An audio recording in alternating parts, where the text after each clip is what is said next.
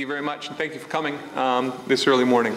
So I'm going to start with the, the aggregate relationship between aid and growth, and go start off with a basic question.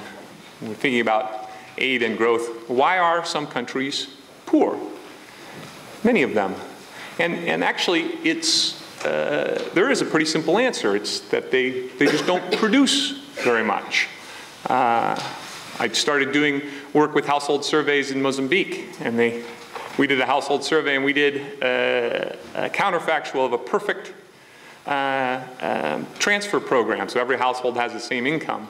And in that case, in 1997, every household in Mozambique would have been poor. Uh, so uh, it's, it's the lack of goods that, that makes up the problem. Uh, why do they produce so little? Well, they have rudimentary technology. They don't have much human capital. They don't have much physical capital. And even in cases where sometimes they add some physical capital or some human capital, they often lack the institutional structures to make this, this function well. Well, why is it that they lack this wherewithal? And, and the reason is they've failed to accumulate. There is this long process of accumulation.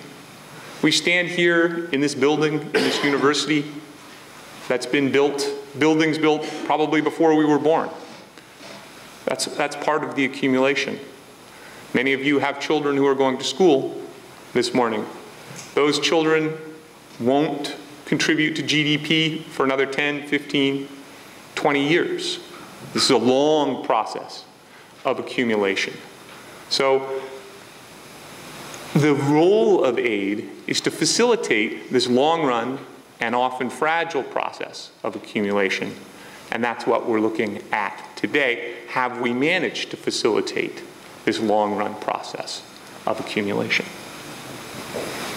So, and looking at the recent cross country literature, there's been a, a, piece published in 2008 uh, that has been quite uh, influential. And they look at lots of countries through time. And they look to see whether aid has contributed to growth across this, this set of countries. And they conclude that no, that there is no detectable, detectable uh, impact of aid in this sample of countries through various time periods and using various methods. And so in essence, this is what's been labeled the micro-macro paradox, and it's been revived. Why is it called the micro-macro paradox? And this is fairly well accepted. Uh, by and large, through the aid literature, if you look at project evaluations, not every project succeeds, it's true. Uh, there are failures, as Finn was pointing out. But by and large, projects evaluated ex post receive positive evaluations. On average, we have positive pro project evaluations. We have positive, what do we call, impact evaluations. Development economics has been at the forefront of what has been called the credibility revolution in, in econometrics. So they look in a very rigorous way at whether certain interventions with the project and without the project, with, with and without the intervention, have actually had impact. And again, not every impact evaluation conducted comes to a positive conclusion, but most do. And then we often get positive sector evaluations. Aid does seem to have an impact on education, enrollments at least, on health. And yet, we find no detectable impact on growth. So there is some incoherence in this. And, uh, and the, the macro literature is, is the outlier.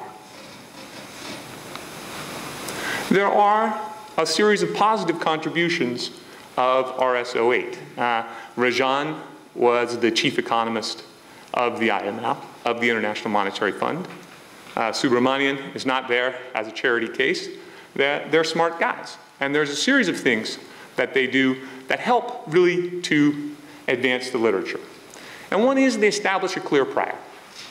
So they look at modern growth theory and they say, well, how much growth should we get if aid is being invested according to modern growth theory. And they come up that if aid is about 1% of GDP, then the increment to GDP growth should be about 0.1 uh, percentage points. So if a country is, without aid was growing at 1% per capita per year, with aid at 1% of GDP, it would grow at 1.1% per year. Second, they take a long run perspective. Not throughout their entire article, but their principal conclusions are based on long run cross sections, looking from 1960 to 2000 and 1970 to 2000. Uh, we agree with that because of this, this idea that growth is a long run cumulative process. Finally, they set the standard for addressing the endogeneity issue. And this is what Finn was, was mentioning as the attribution problem. As Finn was mentioning, we are now, Danida is in the process of leaving Vietnam. All the monies that are being allocated to Vietnam will go somewhere else in a few years. Maybe that money will go to, hopefully that money will be able to go to Somalia.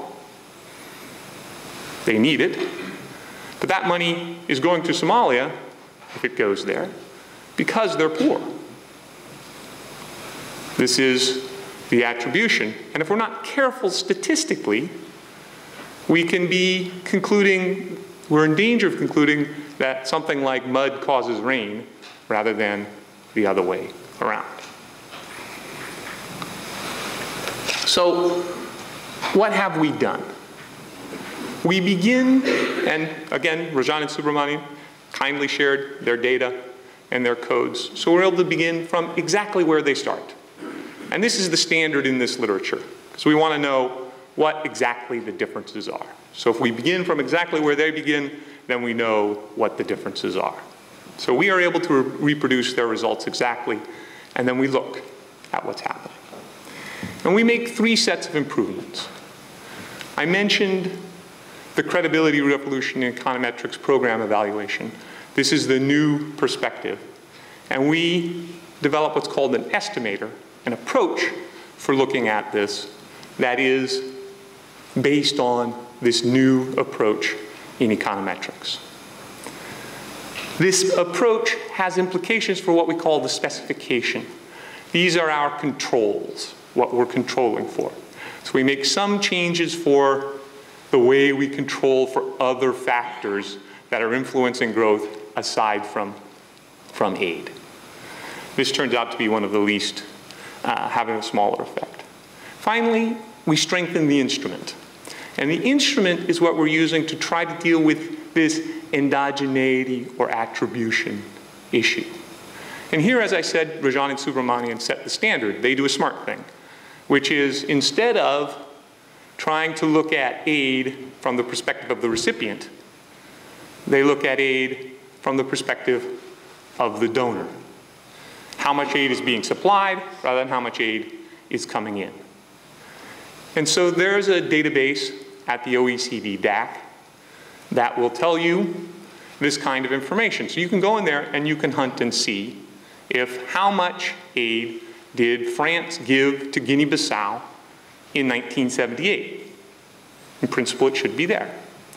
But in a lot of cases, it's not. You go and you look, France, 1978, give to Guinea-Bissau, there's no information at all. And what does it mean? Well, potentially two things. One, they didn't give any. Often we don't report zeros. Or France gave something, but OEC doesn't know what it is. It's missing. And we worked on trying to figure out which one it is.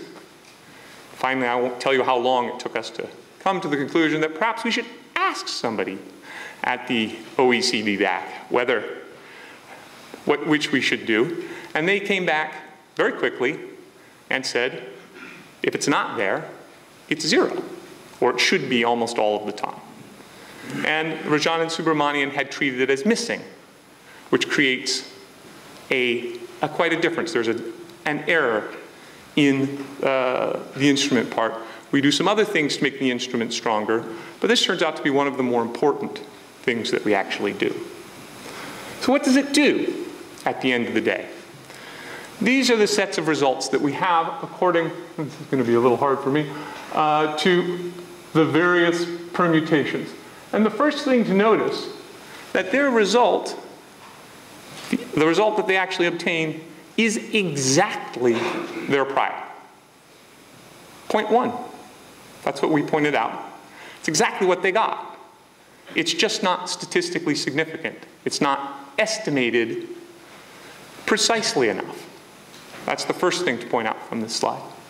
The second is when we shift over to more this um, credibility revolution, this program evaluation perspective, the estimator, then in all cases, regardless of what else is done, the estimate is positive, significant, and in the range implied by growth theory.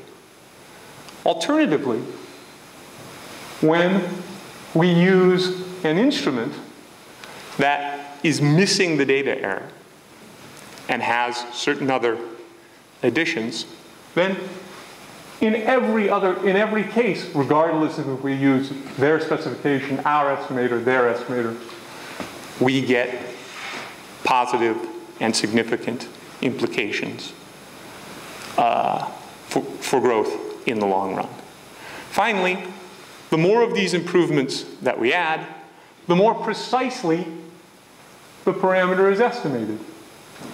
We end up with significance at the 99% level. So a quite precisely estimated uh, coefficient, quite close to what we think is a, reason, is a reasonable prior.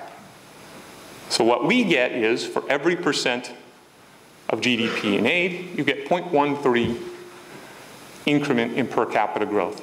So if it was without aid, 1%, with 1% of GDP, you would get 1.13% growth rate. So, what do we conclude?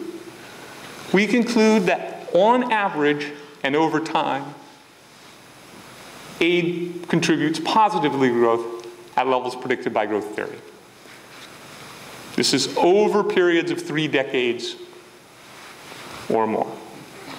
We also conclude that there is no micro-macro paradox, that in fact there's consistency across the project evaluations, the program evaluations, the sector level, and the macro level when taken over a period of time.